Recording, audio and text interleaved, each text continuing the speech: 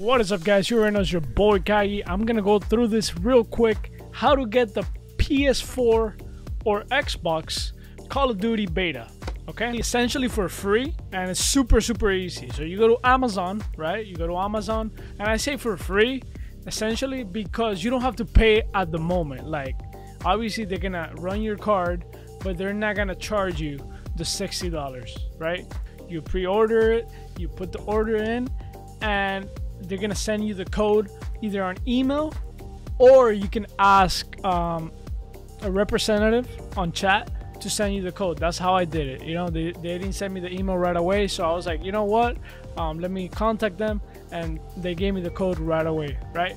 They will charge you the sixty dollars a few days before shipment, and as you may know, um, Call of Duty chips um, October 25th, so we're like a month away from it.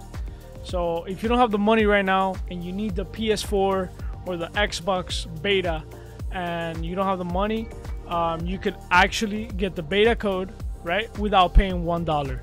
So go ahead and try it out. Now, very important, when you get the code from Amazon, they're gonna give you a code to put into the website. You gotta go into the website, right? You gotta click um, pre-order now for open beta. You don't have to pre-order because you did it on Amazon. So you go to beta right here and you go to redeem code, right?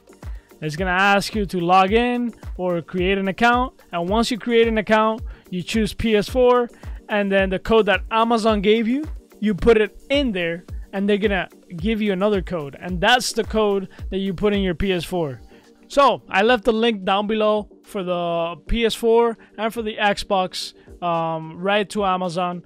Uh, if you use that link, it actually helps me. If you want to help me out, cool. If not, also cool. Thank you for watching. I appreciate it. I'll see you guys next video. Let's get it, baby. Winners Club.